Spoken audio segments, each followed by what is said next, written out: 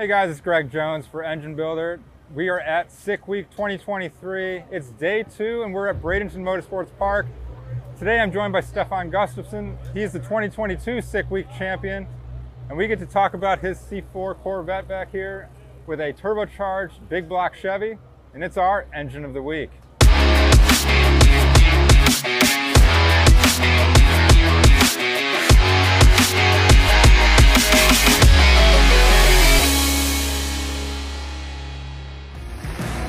Engine Builders Engine of the Week is sponsored by PennGrade 1, Elring Das Original, and NPW. Stefan, thanks so much for giving us a little bit of time. Yeah, again, congrats on last year's big win here at SICK Week, and you're back to defend the title. And uh, you know, we'd love to know a little bit more about the C4 Corvette and uh, you know the big block Chevy setup that you have. So if you could walk us through a little bit about how this car got started. The, the car started out in 2002. Uh, it's built by a Swede, and uh, it started out from three different Corvettes from a salvage yard. So it's like a hybrid This is an I-89 rim and uh, have different body parts on it. It's, uh, it's a 540 uh, big block Chevy, all, all the standard stuff like a Bro Brodix block, uh, Callies billet uh, crankshaft, aluminium rods. is built by Pete Harrell at HED in Mooresville. Um, we use, uh, as in the drag and drive engine, we have to be, be very, very nice to the valve train. So we use the T&D, uh, the steel rockers with oilers and uh, band lifters. Um, Pete upgraded this uh, after drag week with uh, some um, some thicker with push rods. They're one and a half, one a inch push rods now. So we make them a little bit stiffer. The cam, yes, piece secret, but it's a very, very mild cam. It uh, lifts around 650 and 250 duration at L50. So it's pretty much uh, just a standard big block, running like uh, 38 pounds of boost, making 2,100 to the tire with that. Wow, very nice. And and what kind of turbo are you running and what's, what size of turbo? This is a 118 Precision, the M2. Okay. And uh, we have been trying out some difference at some turbo, some precision, making almost the same power if we're using the same exhaust housing. Um, for the back pressure with a single turbo, it's uh, with a 132 AR, it makes like uh, 1300.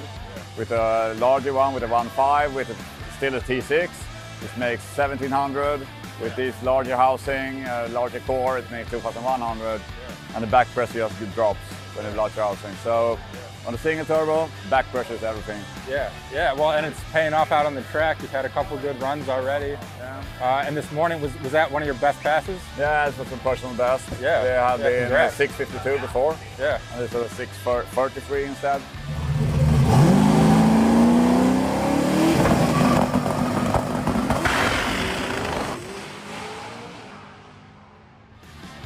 it was so fast we blew the doors off. Yeah, we yeah, we heard. 65 glass tonight. What was that like? Because that, you know, cause that doesn't happen very often. No, right? I've been having, having the car for like six years and never had any issues with it. And we've been over 220 before, a lots of times. Yeah. But this time it just blew the doors off after the finish line. You know, it's a saying, you know, you, you blow the doors off, and you yeah, literally, you literally did it. You know, that's pretty cool.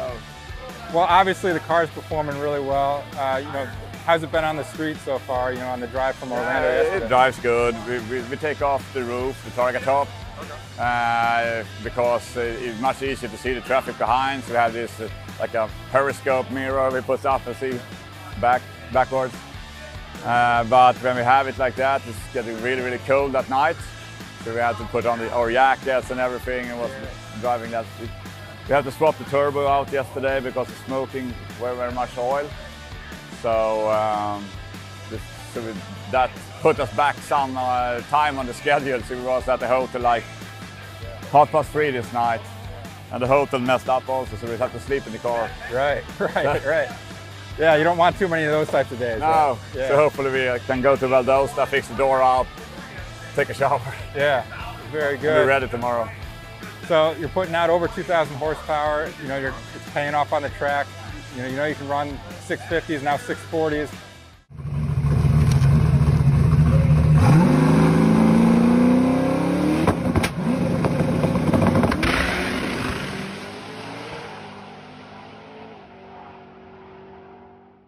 What's the expectation now going forward? You know, what, what else do you think this car might have in it? I've hopefully like a mid 640 and uh, while Westberg did a 640 now, so we have to do a 640 something. Yeah, yeah, and, and we were We can't go home to Sweden with uh, being the second best. right, right. Yeah, we were just talking with Michael not too long ago, and obviously a couple of you guys from Sweden are now, you know, becoming big names here at these drag and drive events. Uh, do you want to talk a little bit about the drag and drive culture for you, you know, growing up in Sweden and now being here in the States and, and competing?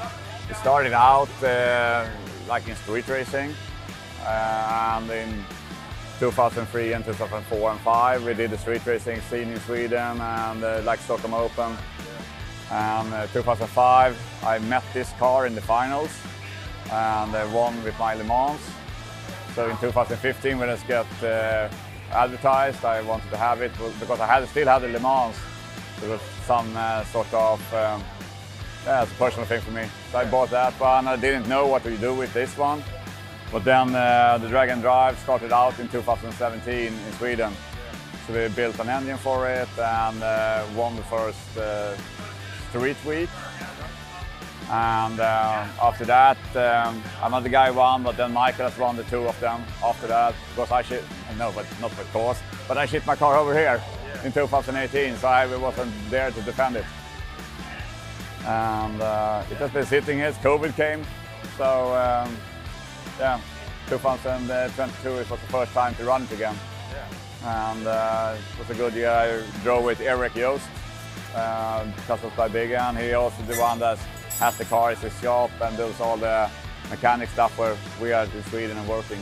Yeah, yeah, that's awesome. And now you guys are here, and like we said, you won Sick Week last last year, and you got expectations to repeat as champion this year.